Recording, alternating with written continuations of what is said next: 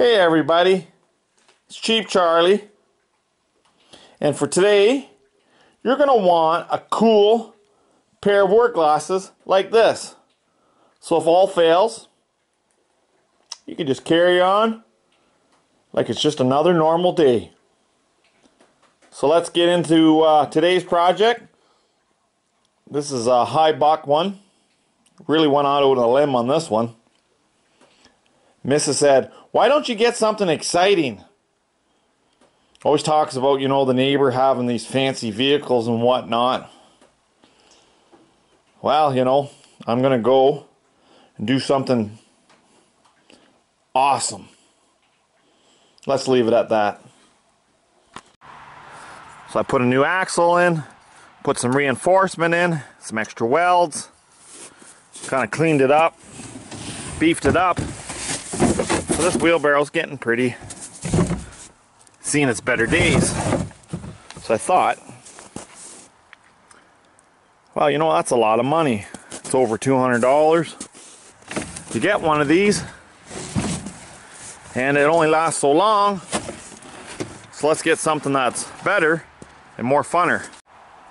You know, time I eat all this food to run this wheelbarrow, I think it's cheaper to pick a different alternative so let's see what we can do.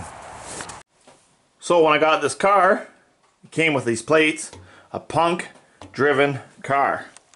So I said, you know what, this is fitting, it's gonna work out. And, you know, it's a fairly decent car, you know, and my wife's always like, oh, get an SUV, you know, buy them side by side. Well, these SUVs can really only do one job side by sides they're just for fun. A little bit of travel. So I thought you know what? I'm gonna make myself an all-around very versatile vehicle. You know and this person here you know they start doing some body work. So it's like yeah. So first you got to do some calculations. Perfect you want this uh, light here, it's going to become your cargo light. Uh, also, if you're out with the missus, you can have some mood lighting. So it's going to work out quite nicely. So you just got to make sure you don't want to get into any live wires and wreck this fine piece of machinery. It came with all these spare parts and more. So we got to bail that out. It's taking up precious cargo space. So right now we're on weight reduction mode. That's pretty nice there, you know, we'll put that on Kijiji. You know, we just gotta cut this cable. Yeah, sometimes you don't succeed at first, so try a different method.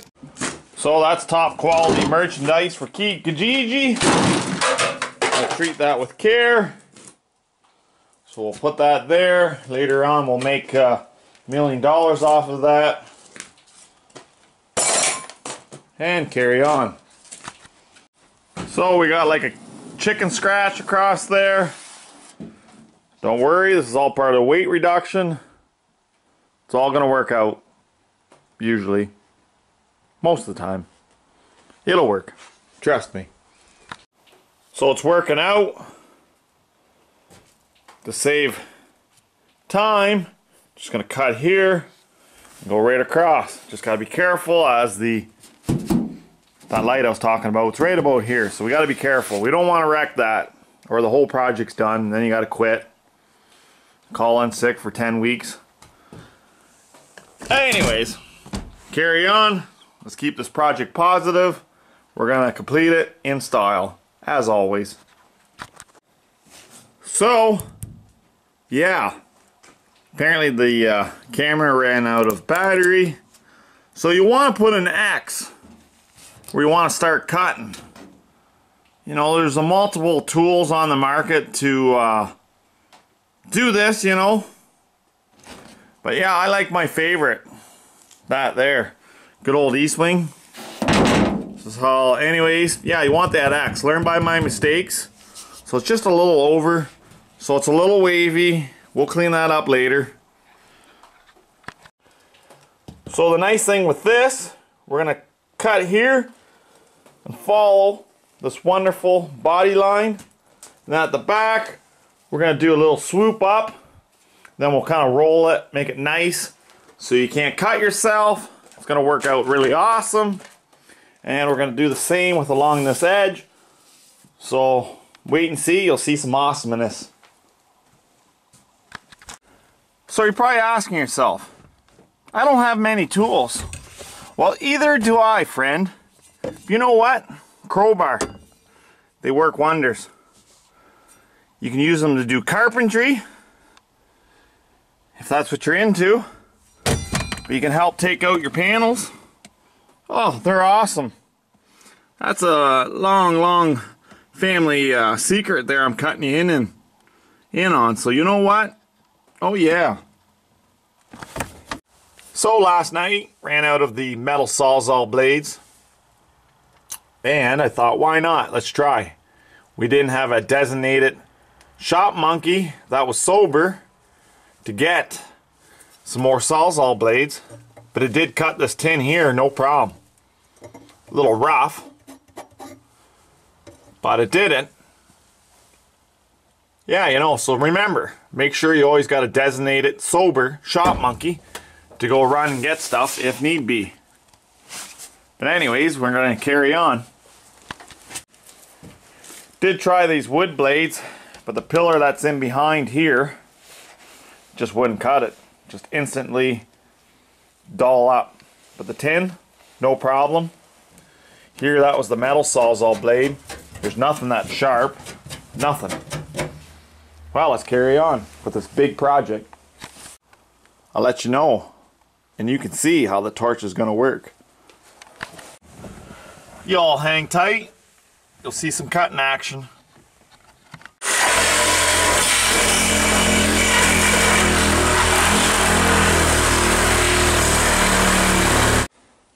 So, inside the quarter panel, they had this piece here. Then they had some more tin, some more layers of tin. Then that layer of tin there. So to the first glance, it doesn't look like there's much there. But anyways, that took a little bit to get it cut through. And that had it up there. So yeah, this uh, little car is actually built pretty tough. Right there anyways. So let's carry on. Let's get her done. So,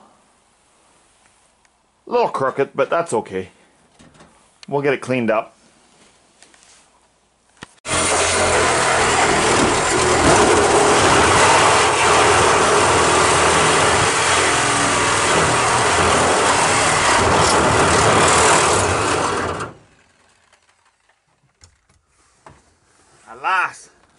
Cut. And this is the real reason I took the trunk off. You got two good handles. One there, and another handle there. So that works out awesome. You can just pull it off, toss it off to the side, and carry on with the project. Well, it's a little rough, but use imagination. Look at all this cargo space. You know, whatever you're into. You want to go hunting, you know, trail riding. It's awesome. If you got some bad weather, you can get out of the weather because you got that for the protection from the weather. You got some windows. It's a fantastic car. You can still have your heat. Oh yeah. It's awesome. So, we cut this with the Sawzall. So it's not that bad. But for anybody, just in case, you can use the old door rubber. Uh, that's one option. Or you can do uh, this. I just folded it over. It's not too bad. If you want it, you can leave these seats. But I uh, want the maximum payload out of this buggy. So we're going to get rid of them. Uh, if you're going to be using this for uh, some off-roading, I get yourself some uh, roll bars, get them professionally installed. But like I said, we're going for payload with this awesome hot rod. So this has got a lot of lot of uses. You know, this is going to be a fun vehicle. Nice and cheap. This way me and the uh, the girlfriend we can go out in style for those nice sunny days. And then, you know, for your Monday to Friday, it's going to be a work vehicle. Sweet. So here, things got a little wavy. That's alright. That happens, right? So, I'm going to reuse this piece of trim. It's going to So I made this nice safety edge. I'll show you how.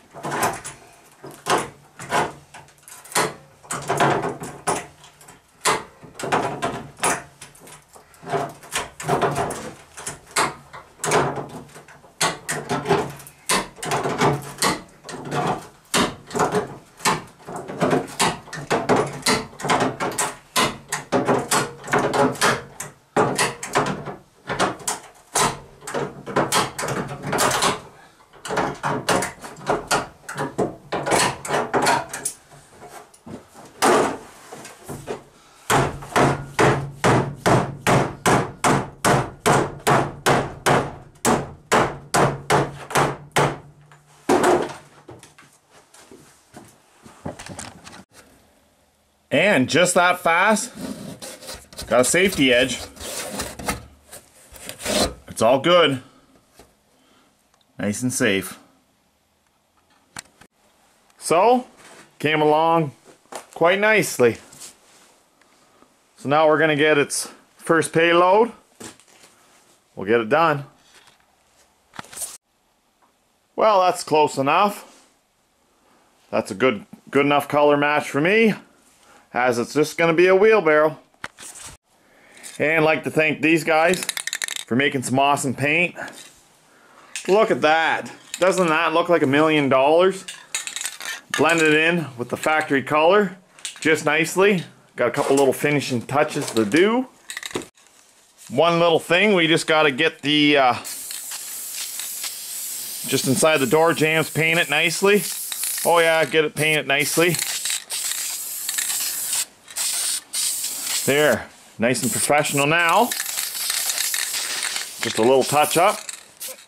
Oh, perfect. Check that out. Pristine. No runs. Well, it's first payload for my new wheelbarrow slash SUV. So yeah, got to get rid of its uh, all these spare parts that the factory gave us. So nice of them. So we can get these recycled there you go. It's a very cheap wheelbarrow slash SUV. Very handy. Well, thanks for watching today's video. Cheers.